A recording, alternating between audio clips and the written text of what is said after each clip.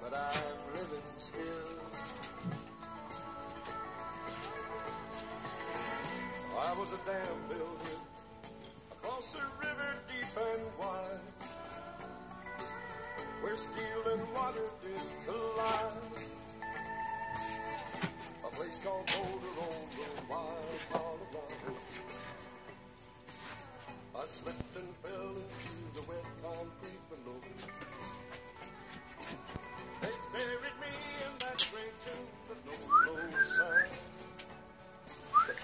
tomb, but no,